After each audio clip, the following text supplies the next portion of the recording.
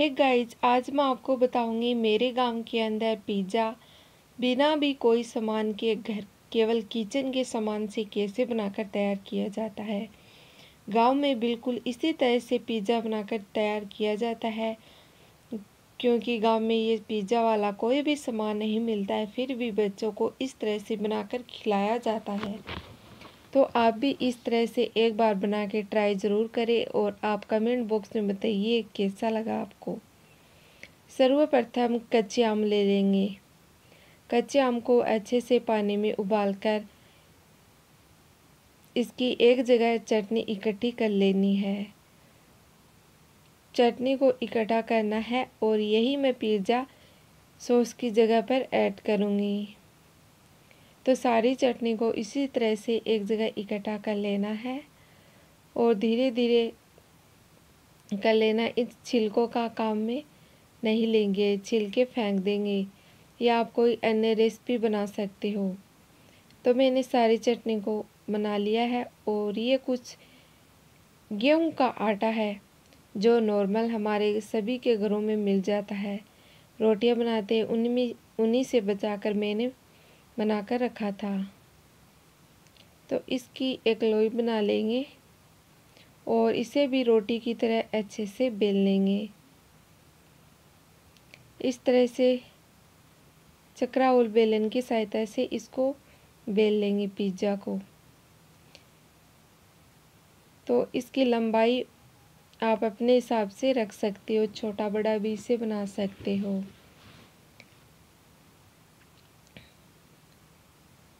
तो इस तरह से मैंने बना लिया है और इसकी मोटाई कुछ इतनी रखी है, आपको दिखाई दे रही होगी। देखिए तो ये रोटी बनकर अच्छे से तैयार हो चुकी है। अब मैं यहाँ पे कुछ ले लूँगी जो पिज़्ज़ा को सजाने के लिए। सब्ज़ियाँ, आप भी इनमें से कुछ ले सकते हो। और इसके साथ ही आपको चाहिएगा एक उबला हुआ आलू। उसको भी ले लेना है। और जो आपने तवा लिया है, इसके ऊपर थोड़ा सा ऑयल लगा दे। फिर आप उसे गैस चूल्हे के ऊपर रख दे गर्म होने को। आपको इसे बहुत ज़्यादा गर्म कर लेना है और हाथ से इस तरह देख सकते हो। आपको गर्म लगे तभी उसी स्टेज के अंदर आपको इसके ऊपर रोटी को डाल देना है। तो मैं इसको अच्छी तरह से गर्म कर लूँगी। उसके बाद गैस को करेंगे बंद। क्योंकि गरम गरम तवे के ऊपर इसे पका लेंगे। कम से कम इसे चार से पाँच मिनट तक अच्छे से गर्म कर लेना है आपको इस तवे को। तो अब मैं फिर से देखती हूँ कि ये गर्म हुआ है नहीं। इस तरह से आप अपना एक हाथ रखकर गर्म महसूस कर सकते हो। यदि आपको गर्म लगे तो आप उस तवे पर पिज़्ज़ा रोटी को डाल दें। तो मैंने यहाँ पे रोटी को डाल दिया है और ये रोटी फूले नहीं। इसके लिए आपको एक मैगी, जो नूडल्स खाने वाला चम्मच होता है, उसे आपको इस तरह से छेद कर देनी है। तो पूरी रोटी पर इसी तरह से आपको छेद करनी है, जिसे ये रोटी अच्छे से सिककर तैयार हो जाए और फूले भी नहीं। तो मैं पूरी रोटी पर इसी तरह से छीद कर दूँगी। और एक साइड से आपको रोटी को पका लेना है। तो मैंने अब पूरी रोटी पर छेद कर दिया हूँ, कर दिए हैं। और ये अभी पकी नहीं है, थोड़ी देर इसे और रहने देंगे। इसी तरह से ये अच्छे से पक जाएगी, तब उसको उल्ट फेर कर देना है। क्योंकि ये रोटी काफ़ी मोटी है तो इसे अच्छे से सेकना है कच्चा बिल्कुल भी नहीं रहना चाहिए। उससे पहले आप इसके ऊपर बटर या देसी घी ऑयल कुछ भी ऐड कर सकते हो। जिसमें आपको पिज़्ज़ा बनाना है, वो ऐड कर दे, ताकि इसका टेस्ट अच्छा आ जाए। रोटी वाला टेस्ट बिल्कुल भी ना रहे। तो मैं यहाँ पे जो आर सी एम कंपनी का ऑयल होता है, उसको ऐड कर दिया है। और इसे नीचे से उठा लेंगे थोड़ा सा ताकि ये चिपके न। और थोड़ी देर इसे और पकने देते हैं, ऐसे ही। तो अब ये अच्छे से पक चुका है और मैं इसे पलट दिया है।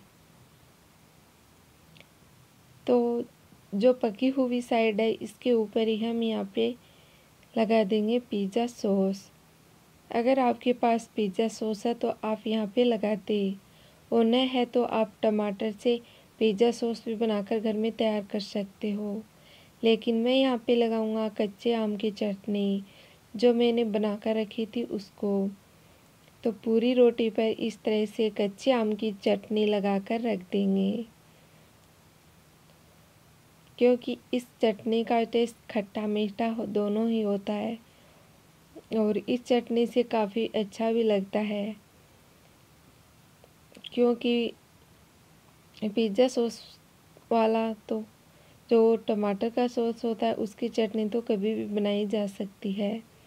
लेकिन कच्चे आम की चटनी नहीं बना सकते तो अब मैं कच्चे आम से ही इसे करूँगी। और अगर आपके पास पिज़्ज़ा सॉस हो तो आप उसे इस चटनी के ऊपर ऐड कर दें। यदि आपके पास पिज़्ज़ा सॉस भी न हो तो आप इसके ऊपर जो किसान केचप आता है, उसे ऐड कर सकते हो। तो मैं यहाँ पे किसान केचप को भी ऐड कर दूँगी और पूरी रोटी के ऊपर इस तरह से फैला दूँगी।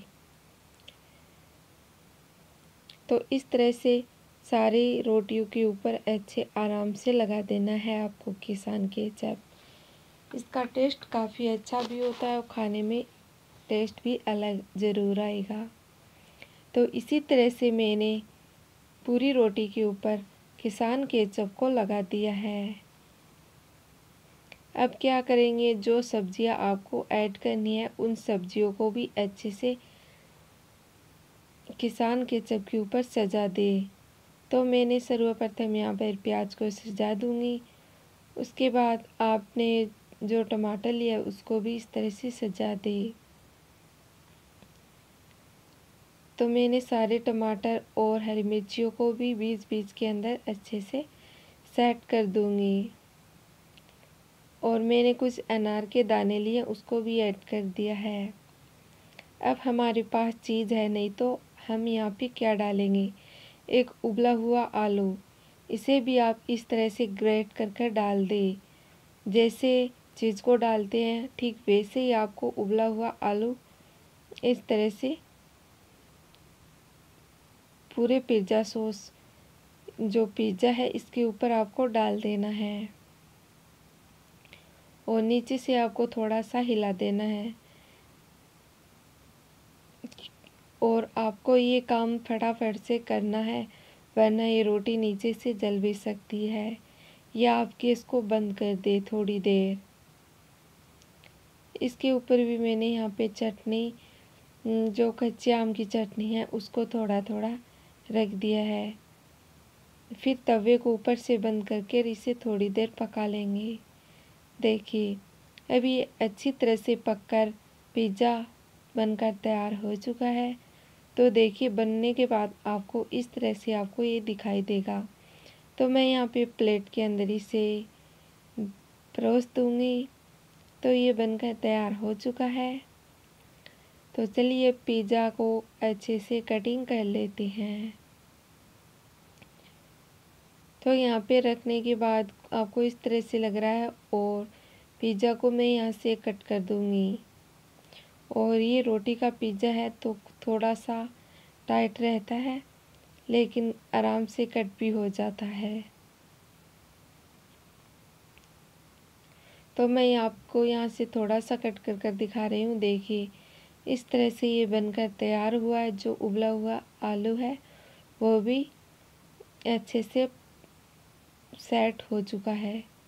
और इसका टेस्ट भी बिल्कुल वैसा ही आएगा जो मार्केट के अंदर आपको पिज़्ज़ा मिलता है उसी तरह का इसका पेस्ट होता है। अगर आपको वीडियो पसंद आए तो लाइक से ज़रूर करें। अगर आप चैनल पर भी नए हो तो चैनल को सब्सक्राइब कर दें, ताकि अगले वीडियो आने वाले की नोटिफिकेशन आपको मिलते रहे। पूरा वीडियो ने देखने के लिए थैंक यू सो मच